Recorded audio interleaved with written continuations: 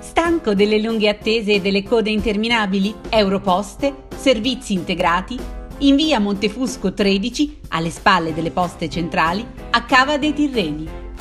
Tutto pronto per l'anteprima primaverile della Podistica Internazionale San Lorenzo. Infatti in attesa della gara, organizzata dal gruppo sportivo Canonico San Lorenzo in sinergia con il comitato cavese del Centro Sportivo Italiano che si terrà quest'anno il 30 settembre, nel mese di maggio sono in programma due appuntamenti riservati alle scuole, presentati questa mattina a Palazzo di Città. Il primo è la sedicesima edizione di Aspettando la San Lorenzo, manifestazione che il 4 maggio, a partire dalle 9, allo stadio Simonetta Lamberti, coinvolgerà numerosi studenti docenti delle scuole medie cavesi e non solo. Il messaggio di queste attività collaterali che noi organizziamo già da diversi anni è il messaggio di avvicinare i giovani allo sport.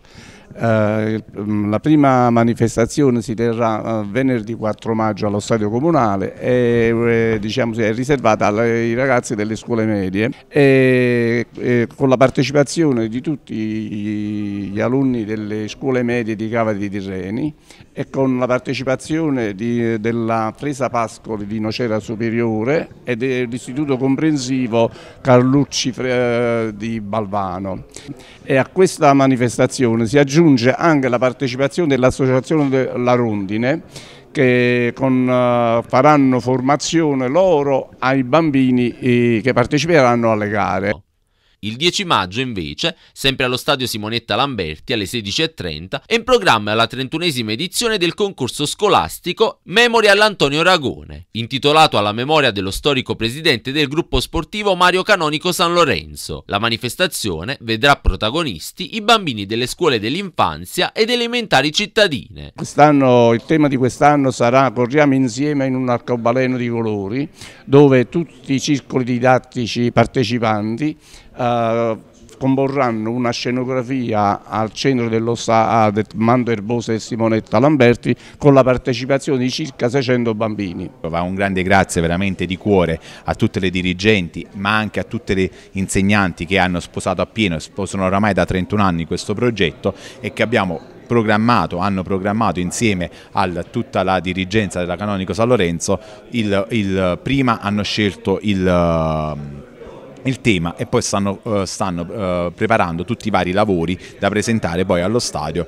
a partire dalle 16.30 del 10 maggio. Presente alla conferenza anche il vice sindaco di Cava dei Tirreni, nonché assessore allo sport, Enrico Polichetti.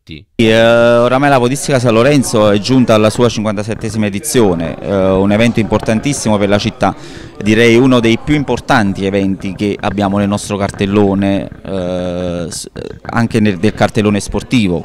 Non è solo un evento sportivo ma soprattutto di promozione del territorio, culturale, educativo. Siamo orgogliosi di far parte fra, gli, fra gli, organizzatori che già dall'anno scorso abbiamo chiesto di farne parte in prima linea, di non stare alla finestra e quindi di lavorare energicamente in sinergia insieme al comitato. Eh, tutte le iniziative che ci sono da eh, Rollario vicino veramente fanno sì di avvicinare i giovani allo sport, soprattutto dalle scuole elementari, i giovani delle scuole elementari, i bambini delle scuole elementari, i giovani delle scuole medie, avvicinarli allo sport. Questo dovrebbe essere un impegno di tutti.